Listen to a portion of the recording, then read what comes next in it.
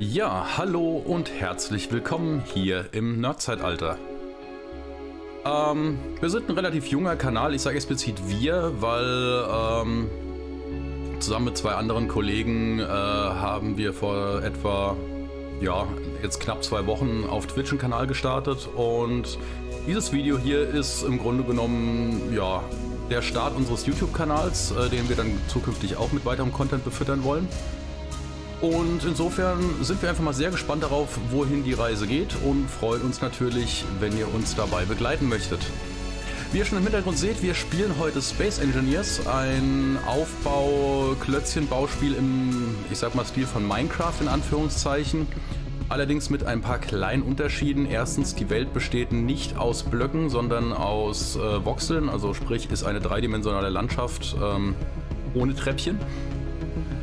Allerdings das, was ihr im Spiel bauen könnt, das besteht aus Blöcken. Und zwar ähm, in einem weiteren Unterschied zu Minecraft können diese Blöcke sich auch bewegen. Also sprich, ihr könnt nicht nur Basen und Häuser bauen, sondern ihr seht es vielleicht auch gerade im Hintergrund äh, Raumschiffe und andere Dinge, die sich bewegen.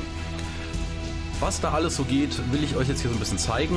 Ähm, die Serie hier soll erstmal so ein bisschen wie, ich sag mal, wie, wie eine Art Tutorial anfangen, wird dann aber später dann halt eben zu einer ganz normalen Let's Play-Serie werden. Das, zumindest ist das der Plan für die ganze Aktion hier.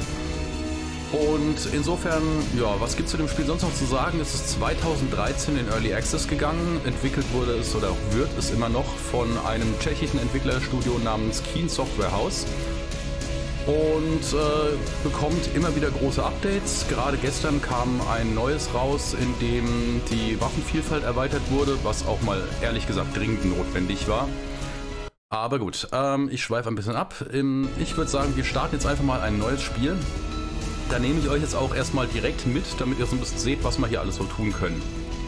Ähm, wir haben hier verschiedene Szenarien, die man spielen kann, ähm, die so ein bisschen als Einführung in das Spiel dienen sollen. Ähm, dann gab es nochmal äh, im Zuge äh, von ein paar Updates und DLC noch ein paar weitere Szenarien, die dazugekommen sind, die neue Funktionen, neue Blöcke und sowas zeigen wollten sollen. Es gibt auch die Möglichkeit, Szenarien aus dem Workshop hoch zu, äh, runterzuladen und zu spielen. Eins davon ist dieses Escape from Mars, was wir hier sehen. Auch ein sehr, sehr schönes und interessantes Szenario, das ich an der Stelle sehr empfehlen kann. Aber heute starten wir tatsächlich unser, eigen, äh, unser eigenes äh, Szenario, ein Custom Game. Auch hier gibt es verschiedene Möglichkeiten, wie, wir starten kann, äh, wie man starten kann. Das verändert im Grunde genommen so ein bisschen, wo man beginnt und was in, schon in der Welt vorhanden ist. Ähm, wir wählen aber den, das Star System aus. Warum Star System? Ganz einfach.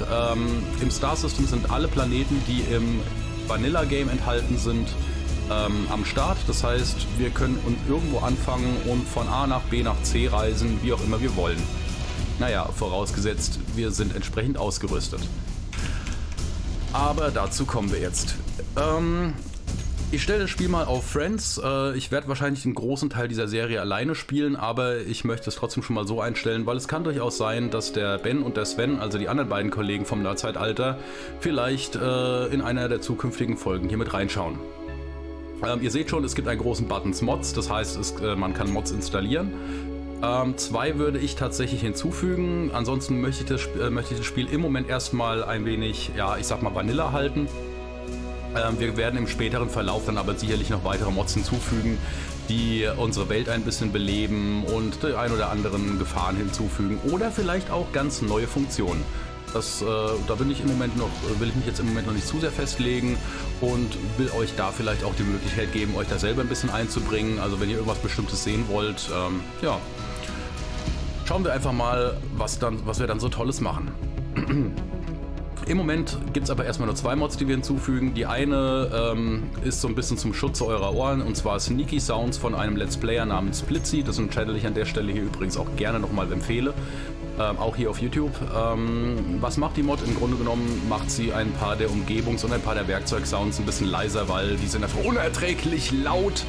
Ähm, und ich möchte euch das jetzt nicht unbedingt zumuten, dass ihr dann irgendwie die ganze Zeit Presslufthammergeknatter im Ohr habt.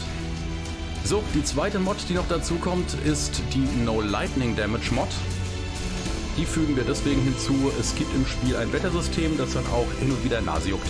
Hin und wieder äh, Gewitter ähm, produziert und wie das beim Gewitter so üblich ist, kommen dann halt eben auch Blitze und die sind sehr zielsuchend. Also die schlagen sehr gerne beim Spieler in der Nähe des Spielers oder in Dingen, die der Spieler gebaut hat, ein.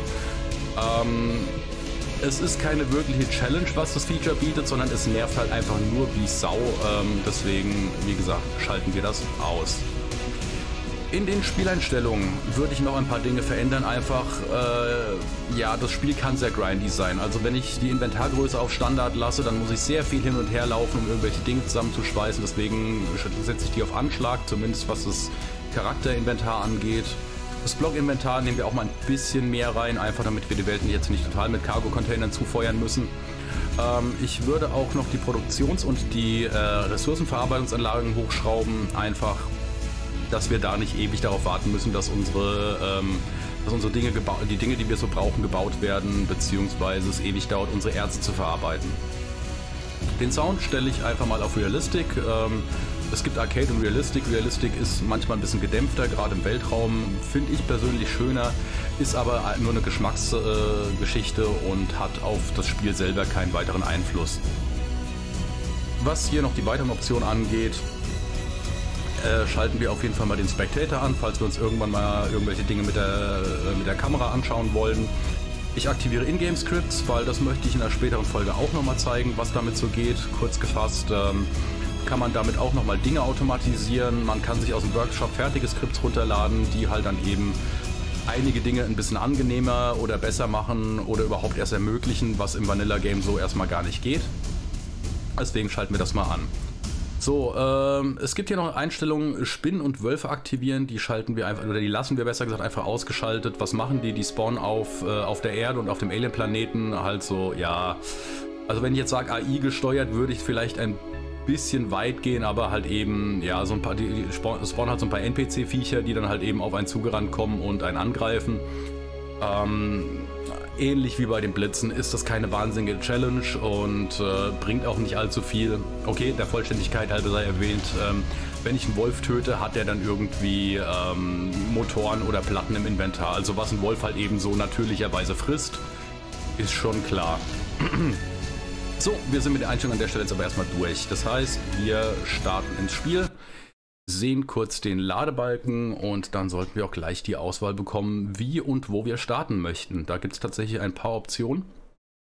Ähm, was die so machen, erkläre ich an der Stelle jetzt natürlich auch direkt. Ähm, wir können entweder im Spacesuit starten, das ist allerdings ein bisschen sinnbefreit, weil dann haben wir wirklich außer dem Raumanzug nichts, ähm, was uns nicht weiterhilft, weil ähm, wir hätten keine, keine Blöcke, mit denen wir jetzt irgendwelche Dinge verarbeiten können. Wir könnten uns keine Ressourcen sammeln äh, und müssten dann direkt irgendwie cheaten, damit wir überhaupt starten können. Also macht das an der Stelle keinen Sinn.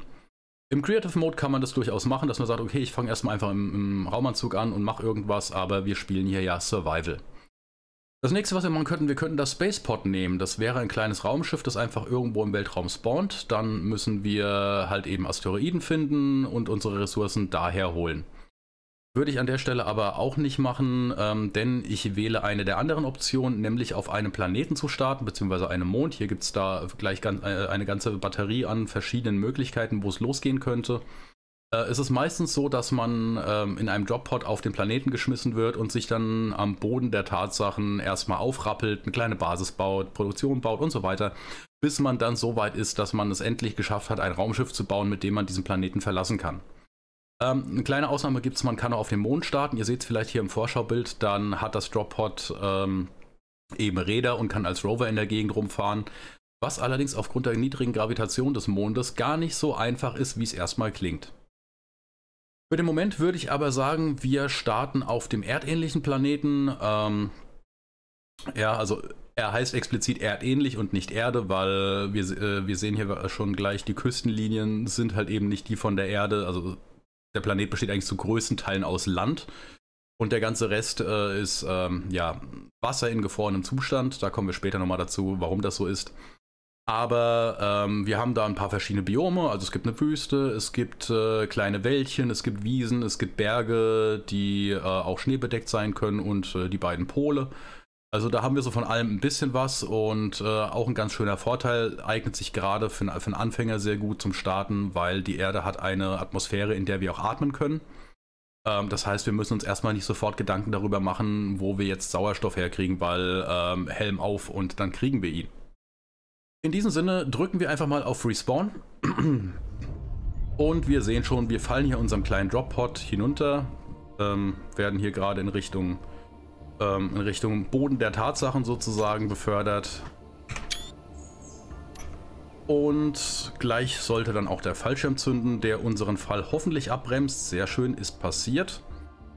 Äh, wir sehen hier, das hier ist unser, unser lustiger Charakter. Äh, ja, also jeder fängt halt eben als so ein lustiger Astronaut an. Und wir dürfen auch schon gleich den Boden erreichen. Ich hoffe mal, wir kommen auf den Landefahrwerken auf. Also das sind hier unten diese Füße. Äh, ja. Nein, sind wir nicht. Stattdessen rollen wir jetzt erstmal den Berg runter. Und wenn wir jetzt richtig Pech haben, dann bleiben wir natürlich auch auf dem Kopf liegen. Es könnte ja kaum schöner sein. Das Fahrwerk hier, beziehungsweise das Landing Gear hier brennt schon. Das hat beim Aufprall zu viel Schaden bekommen. Also ihr seht schon, ein nicht ganz optimaler Start, aber es wird schon irgendwie funktionieren, denn darum geht es in diesem Spiel auch, sich irgendwie durch kreative Engineering-Lösungen ähm, seiner Probleme zu entledigen. so, dann kommen wir an der Stelle mal ganz kurz zu den Blöcken. Ich, ich habe vorhin gesagt, das hat von wegen ist irgendwie Minecraft ähnlich und äh, ihr werdet euch schon gedacht haben, ja Moment mal, wo ist denn hier das Minecraft, weil diese Welt sieht irgendwie nicht sehr blockig aus. Und das ist richtig so. Das Spiel arbeitet für die Welt und die Landschaften mit Voxeln, also dreidimensionalem Terrain. Und nur das, was wir bauen, besteht aus Blöcken. Wenn wir jetzt mal genauer an unser kleines Gefährt schauen, sehen wir, ähm, hier so diese, diese leicht grüne Umrandung, die uns anzeigt, guck mal, das ist ein Block. Wir können jetzt hier mal das mitgelieferte Werkzeug nehmen, die Flex, und machen diesen Block mal weg. Ihr seht auch, der ist nicht sofort weg, wie in einem gewissen anderen Spiel, sondern der geht in Stufen weg. Ähm, Hintergrund ist, Blöcke haben, äh, werden hier nicht einfach gesetzt, sondern sie werden aus Materialien zusammengebaut. Wenn ihr, jetzt hier, wenn ihr jetzt mal auf der rechten Seite unten schaut, seht ihr beispielsweise, dass in diesem Atmosphärentriebwerk äh, Stahlplatten drin sind, Construction Components, ähm, Stahlröhren, Metallgitter, Motoren und so weiter. Das heißt, wir brauchen, um das Ding zu bauen, äh, mindestens mal eine Stahlplatte, damit wir sozusagen eine Rohversion davon setzen. Aber dann brauchen wir alle anderen Teile, um es dann fertig schweißen zu können. Wie das genau aussieht, ich, versuche ich euch jetzt mal zu zeigen. Und zwar, ihr habt gesehen, wir haben hier gerade einen, äh, einen Block weggeschweißt. Wenn wir jetzt mal in unser Inventar schauen, die Taste I öffnet das, standardmäßig. Wir haben hier diese eine, eine Stahlplatte drin. Ähm, die kam jetzt aus dem Block raus. Und jetzt können wir sagen, wir wollen jetzt einen Rüstungsblock setzen. Dazu wählen wir den Block unten in der Toolbar aus. Und ja, dann ist das jetzt hier ein Block, den können wir mit Linksklick in die Welt setzen. Ihr seht jetzt wahrscheinlich, dass dieser Block schon fast so groß ist wie unser ganzes, äh, unser ganzes Landungsgefährt. Das liegt daran, dass das Spiel zwischen großen und kleinen Blöcken unterscheidet. Das kann man durchschalten, indem man einfach die Taste mehrfach drückt. Also wenn ich jetzt nochmal auf 4 klicke, seht ihr, ich habe jetzt hier einen kleinen Block in der Hand. Der große Block hat etwa 2,50 Meter Seitenlänge, der kleine nur 50 cm. Das heißt, ihr könnt natürlich mit den kleinen Blöcken viel mehr Details bauen und die sind besonders geeignet für halt eben so kleinere Geschichten wie unser Droppod oder Jäger oder einen kleinen Rover oder was auch immer. Während die großen Blöcke eher dafür gedacht sind, dass man daraus Stationen errichtet. Übrigens, große Blöcke lassen sich, wie wir hier sehen, in die Landschaft reinsetzen. Mit kleinen Blöcken geht das nicht, der lässt sich hier nicht platzieren. Gut, okay, wir haben jetzt auch gar keine Stahlplatte, Moment, aber selbst wenn ich eine hole, ja, wir nehmen einfach hier geflissentlich das Ding auseinander. Das ist schon okay. Ähm, selbst wenn ich jetzt hier eine Stahlplatte habe, wenn ich ihn in die Luft halte, sagt er, alles klar, kann ich, äh, kann ich bauen. Wenn ich ihn auf den Boden setze, sagt er, nee, geht nicht, lasse ich nicht zu. Also wenn, könnte ich ihn jetzt hier höchstens hochsetzen, er fällt runter und hier sehen wir jetzt auch schon mal, das ist schon ein kleiner Unterschied, was die Größe angeht. So, wir machen das jetzt aber nochmal weg, weil ähm, ja, ich bin mit dem Landespot hier gerade ehrlich gesagt sehr unglücklich. Und da kommen wir jetzt auch schon zu unserer ersten Problematik, weil... Ja, unser Droppod hat nur einen Passagiersitz. Das heißt, wir können damit erstmal so ziemlich gar nichts machen, weil ein Passagier sitzt. Wir können uns da gerne reinsetzen, aber wenn ich hier auf der Tastatur ein bisschen rumdrücke oder mich mit der, mit der Maus hin und her bewege, das Ding bleibt hier einfach komplett unbeeindruckt. Das heißt, unser erstes Problem ist, wir müssen das Teil hier irgendwie steuerbar kriegen. Entschuldigung. So, Ähm, um das hinzubekommen, sollten wir noch mal ganz kurz in diesen, in diesen Sitz reingehen, weil er hat ein Inventar. Wenn wir I drücken, sehen wir jetzt hier unser eigenes Inventar, das wir eben schon mal gesehen haben. Aber auf der rechten Seite ist jetzt noch eins da und zwar ist das das Inventar von diesem Sitz.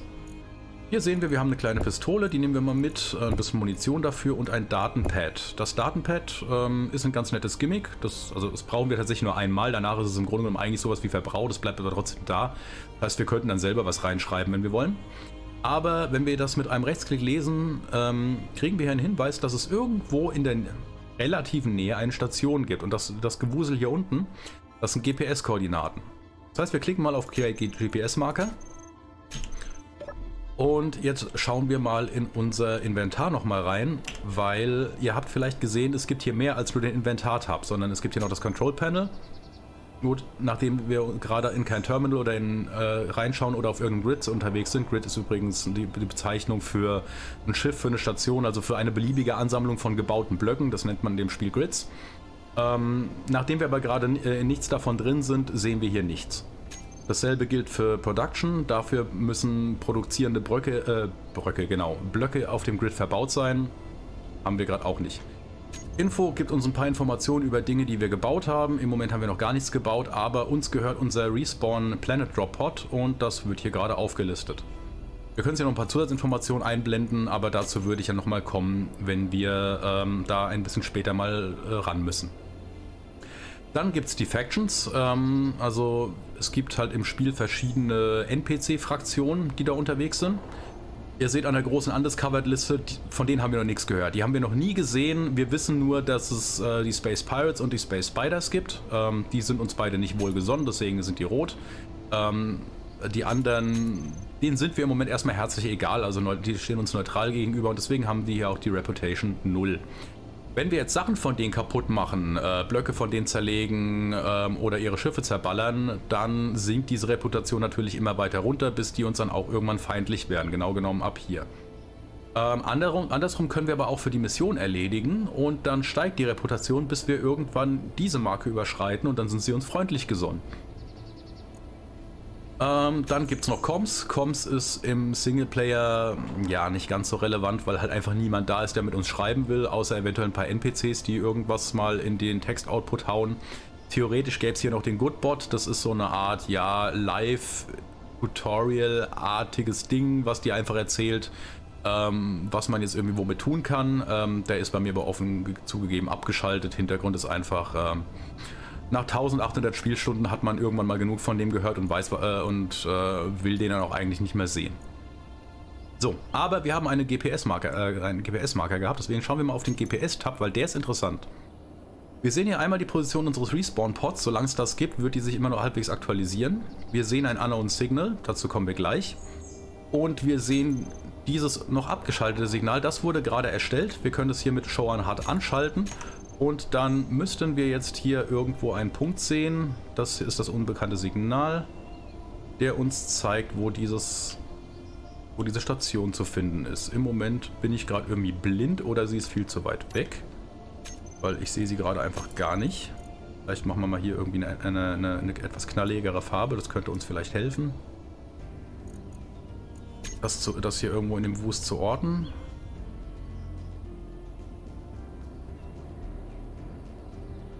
Nö, ich sehe gerade im Moment einfach nichts. Doch, da hinten, da hinten. 36 Kilometer ist die von uns entfernt. Das ist zum Laufen ein bisschen viel und auch ohne irgendwie jetzt ähm, was zu haben, womit wir jetzt irgendwie fahren oder fliegen können, ist die für den Moment ein bisschen unerreichbar weit weg. Also ich könnte da jetzt hinlaufen, aber dann machen wir die nächsten zwei Stunden nichts anderes mehr. Das unbekannte Signal können wir uns aber mal anschauen. Ähm, dazu würde ich aber vorher nochmal hier an den H2O2 bzw. O2H2 Generator gehen. Der macht aus Eis Sauerstoff und Wasserstoff und pumpt den entweder in Flaschen. Die können wir uns dann auch ins Inventar legen, dann füllen die nämlich unseren Vorrat nach, wenn der sich verbraucht. Ähm, und äh, außerdem ermöglicht er es uns, Wasserstoff und Sauerstoff dann auch an dem Survival Kit nachzutanken. Das Survival Kit ist der Block hier hinten. Das ist im Grunde genommen eine Mischung aus äh, Energie- und Gesundheitsaufladestation und einfacher Produktionsanlage. Da werden wir gleich noch mehr von brauchen. Ähm, für den Moment aber jetzt erstmal, ihr habt gesehen, ich habe mal kurz hier das Terminal neben benutzt und meine Energie wurde wieder aufgeladen, mein Wasserstoff wurde soweit wieder aufgeladen. Ein bisschen habe ich jetzt verbraucht, weil ich das Jetpack angemacht habe und mit der Springentaste in die Luft geflogen bin. Mit Dopen geht es wieder runter. Ähm, ansonsten können wir auch noch mit Q und E uns äh, noch drehen und dafür sorgen, dass das richtige Motion Sickness entsteht. Also gerade am Anfang ist das wirklich ein bisschen gewöhnungsbedürftig, wenn man sich so frei in alle Richtungen bewegen kann. Aber gut. So, wir sehen dieses unbekannte Signal. Was ist das eigentlich? Wir fliegen mal hin mit dem Jetpack. Ähm, das unbekannte Signal wird von einer, ja, ich sag mal, unbekannten Entität zufälligerweise in der Spielwelt fallen gelassen. Das sind im Grunde genommen kleine Sonden, die haben ein winziges Inventar, da sind manchmal irgendwelche Goodies drin, die uns vielleicht ein bisschen helfen, gerade für den Anfang, wo wir von allem noch nicht allzu viel haben. Und es gibt einen kleinen Knopf, auf den kann man drücken und dann gibt es so ein bisschen, ja, Ingame-Lotto. Also sprich, man drückt diesen Knopf, es kommt hier diese Abfrage, try your luck to get a new special item. Diese Special Items sind dann meistens irgendwelche Skins, beispielsweise wie hier, wir haben jetzt den äh, Badger Skin für, äh, für, fürs Gewehr freigeschaltet bekommen. Ähm, wenn wir später Medical Room gebaut haben, können wir dann die Skins äh, unseren Waffen zuweisen. Im Moment können wir das allerdings noch nicht, weil wir haben einfach nichts. So, dann können wir mal ins Inventar schauen. Wir finden hier 169 Space Credits, ein wenig Interior Plates und einen Motor. Ähm, das ist schon mal ganz nett, das hilft uns ein bisschen, gerade die Interior Plates, dann müssen wir die erstmal nicht bauen. Und außerdem können wir das Ding hier auch komplett gefahrlos äh, entsorgen, sprich wir zersägen es mit, unserer, äh, mit unserem Grinder und bekommen hier auch eine kleine Menge an Teilen. Im Moment ist es noch ganz nützlich. Äh, ich sage es ganz offen, irgendwann kommt man an den Punkt, wo, ähm, wo es einfach ja, den Aufwand nicht mehr wert ist, diesen Signalen hinterher zu jagen. Es sei denn, man will wirklich die ganzen Skins sammeln, die dabei rausfallen können. Ähm, dazu gibt, äh, kommt auch noch, es gibt verschiedene Arten von diesen Signalen. Ma äh, manche sind einfach hier so kleine, so kleine Sonden wie das hier. Andere sind ein bisschen kugelförmig. Äh, dann gibt es auch welche, die verarschen einen so ein bisschen. Also wenn die erkennen, dass ein Spieler in der Nähe ist, ähm, dann fangen die beispielsweise an wegzufliegen oder wegzurollen. Ähm, das kann teilweise ganz witzig sein, die dann hinterher zu hetzen. So, wir haben jetzt hier ein bisschen Zeug gesammelt. Treffen wir das noch, ist jetzt auch egal. Also fliegen wir zu unserem Respawn-Pod erstmal zurück. Und kümmern uns jetzt mal darum, das Ding wieder flugfähig zu kriegen, weil ich würde tatsächlich gerne unsere Basis da unten in der Talsenke aufschlagen. Im Moment geht das allerdings nicht wirklich gut, weil wir haben nichts, mit dem wir uns fortbewegen können. Das Ding hat zwar Triebwerke, aber wir haben ja schon festgestellt, wir können es nicht steuern. Also müssen wir jetzt irgendwie schauen, wie wir dieses Teil A flugfähig und B wieder umgedreht kriegen, weil momentan liegt es auf dem Kopf. So, um das zu tun, brauchen wir auf jeden Fall erstmal ein bisschen Ressourcen. Die wollen wir mal ganz kurz sammeln. Dafür nehmen wir hier den Bohrer und dazu vielleicht schon gleich eine Sache. Der Bohrer hat ein paar ganz schöne Funktionen. Erstens, er dient als Erzdetektor. Wenn wir hier in der Gegend rumlaufen und zufälligerweise irgendwo ein Erzvorkommen unter uns ist, ich schaue mal gerade, ob hier vielleicht irgendwas ist, an dem ich das demonstrieren kann. Leider ein bisschen schwierig zu sehen. Es gibt einen kleinen Trick und zwar fliegt man möglichst weit hoch und schaut dann, ob es irgendwo ein paar auffällige Verfärbungen auf dem Boden gibt, ähm, die darauf hindeuten, dass irgendwo ein Vorkommen sein könnte. Eventuell, äh, ich glaube nicht hier. Wir, versuchen es trotzdem mal. Nein, hier haben wir gerade keine Chance. Mal kurzer, kurzer Blick auf den H2-Vorrat, weil ihr seht, ähm, Entschuldigung, durch die ganze Rumfliegerei nimmt er natürlich rapide ab. Aber solange wir die Flasche im Inventar haben, füllt die den auf. Und wenn wir hier mal reinschauen, der Füllstand leert sich auch langsam. Also wir haben jetzt nur 68% von der Flasche drin. Wenn die auf 0% ist und äh, wir auch keinen Wasserstoff mehr im Jetpack haben, dann stürzen wir ab. Hier sehen wir gerade etwas. Und zwar diese gräulich, dunkelgräuliche Verfärbung am Boden könnte darauf hindeuten, dass sich hier unten, wir sehen es hier an den Signalen, Erze befinden. Und zwar haben wir Nickel und Magnesium. Das brauchen wir in der Sekunde jetzt noch nicht, aber wir nehmen das mal als GPS-Punkt auf. Ähm, die einfache Variante ist, man öffnet wieder, das war das falsche Menü, man öffnet das Inventar, klickt auf GPS und sagt New from Current Position, dann kriegt man hier seinen GPS-Punkt, der heißt halt eben wieder Spieler und dann nennen wir den jetzt beispielsweise EA für Erde. Ni für Nickel und Magnesium Mg. Ich benutze hier mal relativ kurze äh, Beschreibungen, einfach weil ähm, das den Screen nicht so voll klattert. Wir können auch übrigens diese GPS-Punkte auch bei Bedarf, wir haben es ja vorhin schon mal gesehen, die Station haben wir angeschaltet, bringt uns gerade nichts, also können wir sie auch wieder abschalten. Ähm, auch den könnten wir jetzt abschalten, ihr seht, jetzt ist er weg. Und wenn wir ihn jetzt wieder anschalten, dann haben wir ihn hier wieder, der kleine Blau in der Mitte. So, wie gesagt, im Moment bringt uns das noch nicht wahnsinnig viel, aber es ist schon mal gut zu wissen, dass es irgendwo Vorkommen gibt und ihr habt jetzt mal gesehen, wie das mit dem Ohrdetektor im Bohrer funktioniert. Es gibt auch eigene Blöcke, die, ähm, die ausschließlich Erz erkennen, die kann man dann an Fahrzeuge oder an Raumschiffe ranbauen, ähm, so dass, äh, äh dass die dann halt eben danach scannen. Und die haben auch eine etwas höhere Reichweite als der Bohrer, ganz besonders der poplige äh, Tier 0 Bohrer, den wir gerade haben, also das absolute Anfängerwerkzeug der kommt nicht wahnsinnig weit in den Boden rein. So, ähm, wir brauchen Dinge. Was können wir jetzt also erstmal tun? Ganz einfach. Ich habe schon erwähnt, unser Survival Kit bietet uns einfache Produktionsmöglichkeiten. Und um, um, etwas zu produzieren zu können, brauchen wir Ressourcen. Und von Anfang kriegen wir die aus Stein raus. Also halten wir den Bohrer in Richtung des nächstbesten Bodens, Gesteins, was auch immer und halten die linke Maustaste gedrückt und ihr seht schon, hier wird direkt losgerödelt und es fallen kleine Brocken raus, die sich dann hier sammeln. Die können wir mit der Taste F aufnehmen und hier auch schon direkt der Pro-Tipp, wenn man beim Bohren die Taste F gedrückt hält, dann sammelt man das meiste, was da abfällt, schon, von, schon direkt ein und muss den Dingern nicht umständlich hinterherrennen. Der Bohrer hat übrigens zwei Modi, in denen er funktioniert. Entweder, wie wir es gerade machen, mit gehaltenem Linksklick, dann buddelt er relativ wenig Material vom Boden weg und produziert uns äh, eben entsprechend unsere Erzbrocken, beziehungsweise in dem Fall unsere Steinbrocken. Der zweite Modus ist ein Rechtsklick. Der gibt uns keine Ressourcen, nichts, gar nichts, aber wenn wir damit den Boden treffen, ihr seht schon, machen wir ein viel größeres Loch. Also den Modus können wir dafür verwenden, wenn wir die Landschaft nach unserem Belieben umgestalten wollen.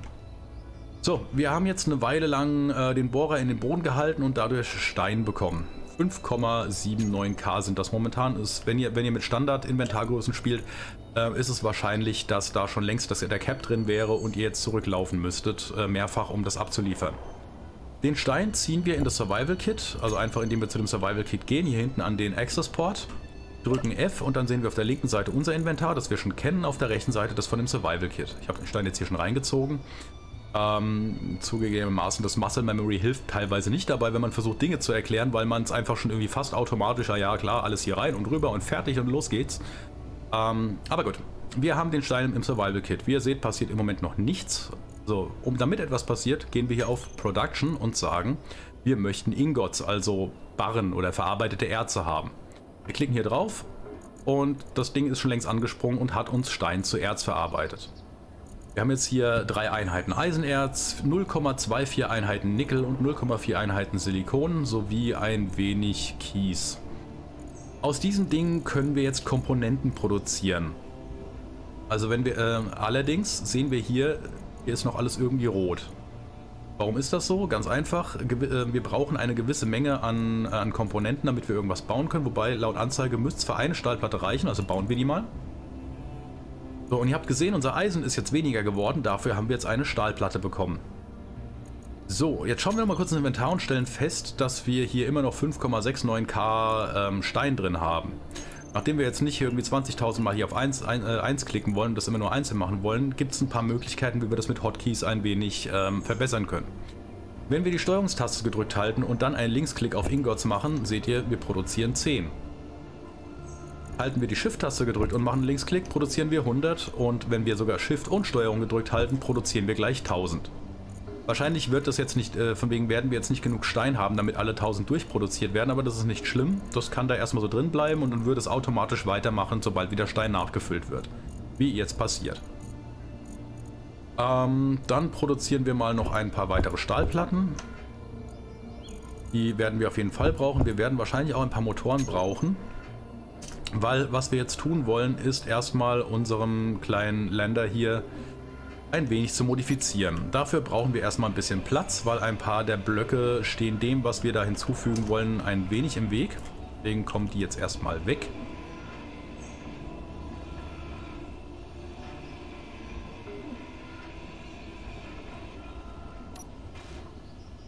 Wir schweißen mal hier ein bisschen noch was zusammen. So, im Sitz ist nichts mehr drin. Das heißt, den können wir gerade mit zerlegen, weil an die Stelle kommt gleich was anderes.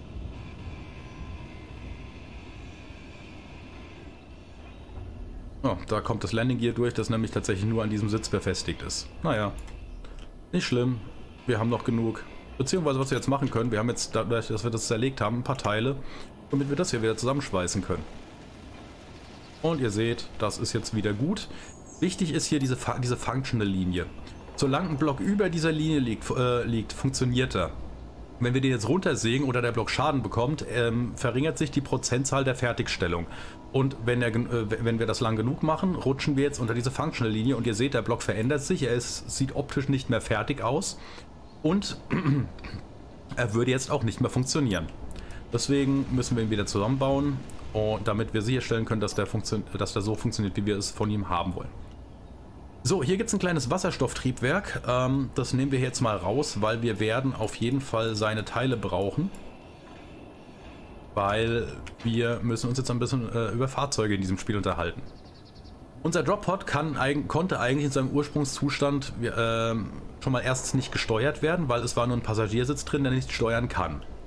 Zweitens ähm, konnte es sich nur Schub in Richtung der Triebwerke verschaffen. Also sprich, die Triebwerke haben eigentlich nichts anderes machen können, als uns zu bremsen. Denn im Gegensatz zu vielen anderen Raumschiffspielen, wo man irgendwie nur ein Triebwerk braucht und das Ding fliegt, ist es in Space Engineers notwendig, dass ein Triebwerk in jede Bewegungsrichtung existiert. Also sprich, ich brauche nicht nur Triebwerke nach, nach unten, ich brauche welche nach vorne, ich brauche welche nach hinten, ich brauche welche nach links und ich brauche welche nach rechts. Und wenn ich auf dem Kopf fliegen will, brauche ich auch noch welche nach unten. Gut, auf der Erde kann man sich das ein bisschen sparen, weil die, die Gravitation zieht das Schiff sowieso nach unten. Das heißt, da könnte man jetzt sagen, wir sparen uns die Triebwerke, die nach unten drücken und lassen das einfach von der Schwerkraft erledigen. Funktioniert auch ganz prima. Das Einzige, worauf wir dann natürlich achten sollten, ist, wir sollten nicht längere Zeit über Kopf fliegen, weil sonst fallen wir runter, weil dann auch nichts mehr da ist, was der Schwerkraft entgegenwirkt. Sowas wie, äh, wie Lift oder ähm, Luftwiderstand gibt es in dem Spiel, ich sage ganz bewusst, im Naturzustand nicht. Es gibt tatsächlich eine Mod, die, äh, die das hinzufügt, die auch Flugzeugteile hinzufügt, Propeller und hast du nicht gesehen, äh, dass, äh, dass dann auch wirklich atmosphärisches Verhalten in dem Spiel vorhanden ist. Aber im Moment, wie gesagt, spielen wir erstmal Vanilla, das heißt, äh, das muss uns jetzt erstmal nur äh, geringfügig beschäftigen. Wir haben jetzt hier erstmal einen kleinen Block hingebaut. Warum? Ganz einfach, wir brauchen den gleich. Aber wir kommen mal ganz kurz zum Blöcke setzen. Wenn wir die Taste G drücken, haben wir hier ein Menü, das uns anzeigt, welche Blöcke wir überhaupt bauen können. Im Moment ist es noch eine verhältnismäßig geringe äh, Anzahl, ähm, obwohl wir hier gerade All Blocks ausgewählt haben. Es gibt in Wahrheit aber viel, viel mehr, weil es gibt ein Progression System. Das heißt, wir müssen erst bestimmte Blöcke gebaut haben, damit wir weitere Blöcke, die sozusagen unter dieser Kategorie hängen, äh, dann im Anschluss ähm, in die Welt setzen können. Beispielsweise müssen wir einen Basic Assembler bauen, damit wir ein, äh, ein Interior Turret bauen können, also einen kleinen Geschützturm ähm, oder ein äh, diverse Lichter ähm, oder oder oder was hier halt eben alles so ein bisschen ausgegraut dargestellt ist. All das können wir jetzt gerade noch nicht bauen, dafür müssen wir erst den Basic Assembler irgendwann mal fertig in die Welt gestellt haben und fertig gebaut haben. Ähm, wir haben aber vorhin beispielsweise das Landing Gear äh, wieder repariert und damit über die Functional Line gebracht, was äh, für das Spiel so viel bedeutet, wie wir haben den Block gebaut und deswegen sehen wir jetzt hier auch, dass uns äh, verschieden, äh, der Passagiersitz, den wir schon kennen, freigeschaltet wurde, dass uns Räder freigeschaltet wurden, be beziehungsweise Fahrwerke, Rä äh, wir können auch Räder einzeln setzen, aber ohne Fahrwerk sind die, so ein, Fahrwerk sind die halt so ein bisschen, naja, man kann sie als Bumper benutzen, so viel kann ich an der Stelle verraten, aber gut. Aber wichtig ist, wir haben hier Control Seats und Cockpits freigeschaltet bekommen. Und genau das wollen wir setzen, nämlich einen Control Seat. Um das zu tun, können wir jetzt einfach ähm, den Block suchen. Also das können wir auch tatsächlich über den Namen machen. Ich spiele das Spiel übrigens auf Englisch. Aufgrund diverser traumatischer Erfahrungen mit schlechten deutschen Übersetzungen ist das einfach so ein Geschmacksding bei mir. So, und jetzt sehen wir hier, wir haben hier einen Control Seat Block. Wir können mit Entfernen, Ende, Bild rauf, runter, äh, Position 1 bzw. Home und Einfügen den Block äh, entsprechend drehen. Ihr seht das hier gerade auch äh, und auch oben rechts zeigt er uns so ein bisschen die Orientierung an. Und mit einem Linksklick setzen wir den Block, den wir im Moment nur als sozusagen Blaupause sehen. Jetzt haben wir ihn gesetzt und ihr seht, der sieht irgendwie nicht so aus wie in der Vorschau, weil er ist nicht fertig gebaut. Jetzt können wir mal schauen, wir brauchen Interior Plates, Construction Components, einen Motor und noch ein paar andere Teile. Wir haben ja vorhin die Sonde zerlegt, mal gucken, wie weit wir damit kommen. Und wir schweißen jetzt einfach mit unserem Schweißgerät zu, linke Maustaste halten und hoch damit. Ja, uns fehlen 10 Computer, uns fehlt ein Display und solange wir das nicht haben, kriegen wir den Block nicht fertig. Also gehen wir nochmal kurz hinten hin an unser Survival Kit und sagen, wir hätten gerne 10 Computer und wir hätten gerne ein Display. Und wenn wir jetzt genug Ressourcen haben, werden uns die Teile gebaut. Das hat gereicht. So, das Ganze nehmen wir jetzt hier in unser Inventar. Wir können es entweder mit der Maus rüberziehen, wir können auch beispielsweise Shift gedrückt halten und Linksklick drauf machen. Dann haben wir das Zeug gleich direkt drüben. So, und damit hätten wir unseren Control Seat fertig. Aber wir können uns jetzt reinsetzen, aber immer noch nicht steuern. Warum ist das so? Dazu muss ich jetzt noch mal ein bisschen ausholen. Unser erstes Problem ist, dass, dass sich die Triebwerke nach der Landung normalerweise automatisch abschalten. Vom Geräusch her würde ich aber gerade vermuten, dass sie noch an sind. Aber die Frage ist, wo sind sie denn, die Triebwerke? Na, da kommen, kommen, kommen wir jetzt hier schon zu dem, zum Control Panel. Das Control Panel ermöglicht es uns, ähm, alle funktionalen Blöcke, die in unserem Grid verbaut sind, äh, einzustellen. Also jeder Block hat bestimmte Funktionen, die man hier verwenden kann. Beispielsweise kann man bei der, bei der Batterie sagen, wie sie sich gerade verhalten soll, ob sie, äh, ob sie beispielsweise den Charge Mode Auto, Recharge oder Discharge hat. Momentan ist Auto am sinnvollsten. Auto heißt, wenn die Batterie Strom kriegt, nimmt sie ihn auf und speichert ihn. Wenn irgendwas im Grid Strom braucht, gibt sie ihn automatisch wieder her. Stellen wir die Batterie auf Discharge, dann wird sie nur die Ladung, die sie hat, abgeben und sich nicht mehr aufladen. Umgekehrt stellen wir sie auf Recharge, wird sie sich automatisch aufladen, aber sie wird keine Ladung abgeben. Warum das so ist, da, da kommen wir dann nachher nochmal drauf zu sprechen, wenn wir über das ganze Thema Stromverbrauch reden. Im Moment halte ich, äh, halte ich das noch ein bisschen kurz. Wir haben hier noch eine Antenne, die können wir mal abschalten, weil gerade brauchen wir sie nicht und sie frisst nur Strom, den wir, der gerade im Moment noch nicht nachgeladen wird. Also insofern können wir hier ein bisschen sparen. Wir haben hier den vorhin erwähnten Ohrdetektor auch als Block drin, also wenn hier irgendwo Ärzte in der Nähe wären, hätte er uns das schon angezeigt. Wir haben ähm, einen kleinen Cargo-Container, der kann selber nicht allzu viel. So, aber wir wollten ja Triebwerke finden und irgendwie sind hier keine. Warum nicht? Ganz einfach, es gibt hier eine, einen Schalter versteckte Blöcke anzeigen. Und jetzt schauen wir mal, der kleine Cargo-Container hat ähm, hat hier einen Punkt Show Block in Terminal.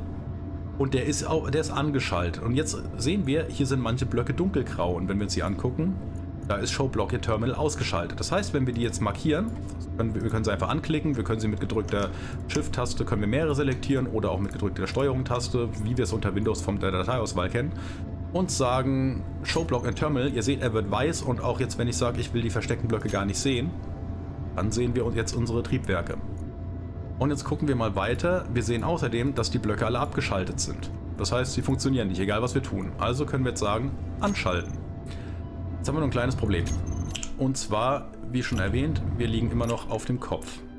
Das heißt, wenn ich jetzt versuche, irgendwo zu fliegen, die einzige Möglichkeit, die ich gerade habe, ist nach oben fliegen. Ihr seht, die Triebwerke feuern, aber sie machen nichts. Warum? Weil, naja, da ist so ein bisschen Boden, der uns in unserer Fortbewegung hindert. Also gehen wir nochmal zurück ins Control Panel. Wir schalten die Triebwerke einfach nochmal aus, um ein bisschen Strom zu sparen, weil den werden wir wie gesagt brauchen. Warum dreht sich das Ding nicht? Müssen wir Triebwerke bauen? Ich verrate es euch gleich an der Stelle. Nein, müssen wir nicht. Ähm, was wir tatsächlich tun müssen, ist, ähm, die Triebwerke ermöglichen uns nur eine laterale Bewegung. Das heißt nach oben, unten, links, rechts, rauf, runter. Aber sie ermöglichen uns keine Drehung. Um eine Drehung hinzubekommen, brauchen wir ein Gyroskop. So, um das zu bauen, brauchen wir ein paar Teile. Wir gucken mal, wie weit wir damit kommen. Das eine packen wir jetzt am besten einfach mal da unten an die Stelle, wo wir vorhin unser, äh, unser Triebwerk weggemacht haben. Es fehlen uns noch drei Computer. Dann wollen wir die mal bauen. Mal gespannt, ob es noch reicht. Tatsächlich reicht es noch.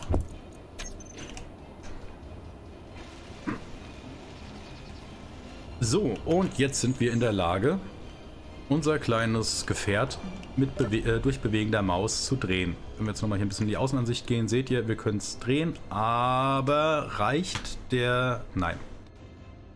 die Kraft von einem Gyroskop reicht nicht aus, um unser Gefährt umzudrehen. Das heißt, wir müssen tatsächlich noch mal ganz kurz äh, ein wenig Stein nachholen.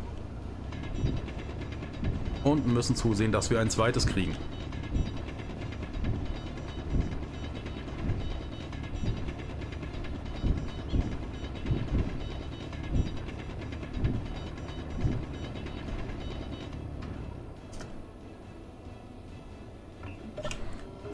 Ich habe jetzt einen kleinen Hotkey benutzt, äh, um den Stein abzuladen. Ähm, Erkläre ich euch später dann auch gerne nochmal im Detail, was ich da eigentlich tue, weil das ist wieder ein eigenes Feature für sich. Ähm, ja, das einfach, äh, das ich dann gerne in Gänze erklären würde und jetzt nicht nur irgendwie hier in, in kleinen Teilen. So, ähm, wir gucken mal, was brauchen wir alles. Uns, äh, wir haben gerade versucht, die Teile hier rauszuholen und er hat gesagt, uns fehlt noch eine große Stahlröhre. Und noch was. So, das heißt erstmal, irgendwo müssen wir das Ding ansetzen. Wir fangen mal an, es zuzubauen. Und wenn wir ganz viel Glück haben, reicht es vielleicht... Nein, es reicht nicht. Wir brauchen noch drei Computer. Nein, das nicht. Also bauen wir nochmal drei Computer nach. Das hat auch funktioniert. Die nehmen wir ins Inventar und schweißen den Block fertig.